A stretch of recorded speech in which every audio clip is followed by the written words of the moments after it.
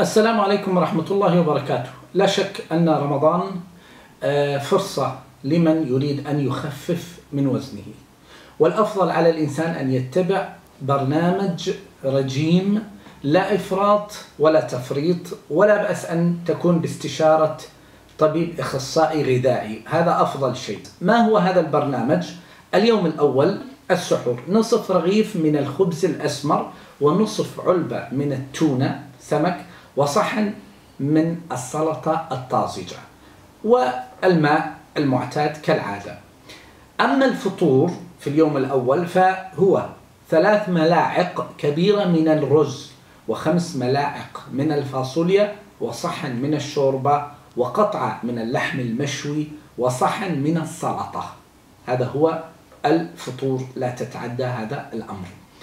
بالإضافة إلى كل يوم كل يوم هذه قاعدة. بعد الفطور حوالي نص ساعة تحضر التركيب الآتي. شاي أخضر زنجبيل أخضر آه، نعناع أخضر مع قشر رمان الناشف.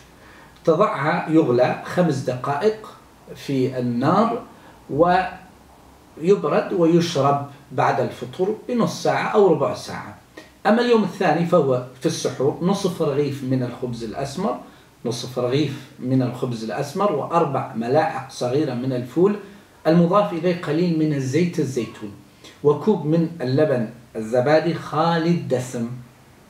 أما الفطور ثلاث ملاعق كبيرة من المعكرونة وصحن من الشوربة وقطعة من اللحم المسلوق وصحن من السلطة.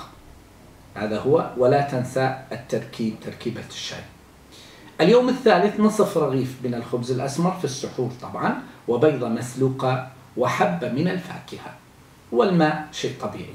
أما الفطور في اليوم الثالث فهو ثلاث ملاعق كبيرة من الرز وصحن من الشوربة وربع دجاجة مسلوقة وصحن من آه، شوربة الملوخية وصحن من السلطة. أما اليوم الرابع ففي السحور نصف رغيف من الخبز الأسمر وأربع ملاعق صغيرة من الفول وخمسين غرام من الجبن قليل الدسم جبن الأبيض وكوب من الحليب خالي الدسم. أما الفطور في هذا اليوم فيكون ست ملاعق كبيرة من المعكرونة وصحن من الشوربة وصحن من السلطة ولا تنسى الشاي. اليوم الخامس طبعا تركيبة الشاي اللي ذكرناه في البداية. اليوم الخامس في السحور نصف رغيف من الخبز الأسمر و50 غرام من الجبن الخالي من الدسم وبيضة مسلوقة وصحن من سلطة الفاكهة المشكلة. أما الفطور في نفس اليوم ثلاث ملاعق كبيرة من الرز وربع دجاجة وصحن من الشوربة وصحن من الكوسة المسلوقة وصحن من السلطة. أما اليوم السادس في الفطور حبتان من الفاكهة وكوب من الزبادي منزوع الدسم وصحن سلطة. أما الفطور ثلاث ملاعق كبيرة من الرز وثلاث حبات محشي باذنجان أو كوسة باللحم وصحن من الشوربة وربع دجاجة وصحن من السلطة.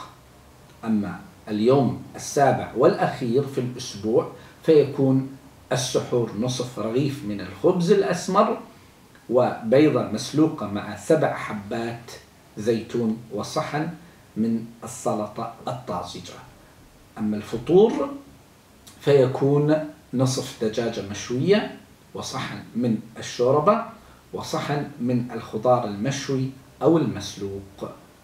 هذا هو برنامج سبعة أيام تكرره خلال كل سبعة أيام مدة شهر رمضان الفضيل.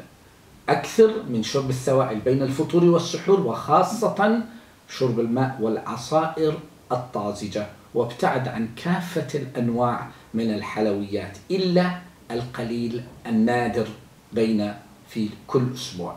أسأل الله أن يتقبل الصيام والقيامة وصالح الأعمال. والسلام عليكم ورحمة الله وبركاته.